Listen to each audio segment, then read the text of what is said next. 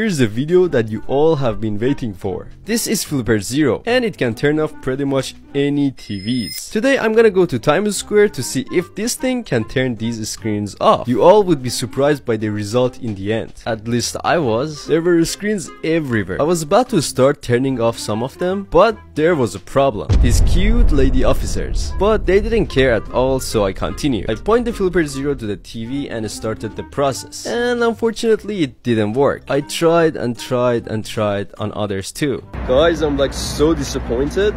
Then I got so mad that I was gonna throw it into a trash can, but luckily I didn't. And thanks to my mindset, I didn't give up there too. On the way back home, I saw this store with a TV. I knew that this time will work, and at the first trial, finally worked here. Follow for more.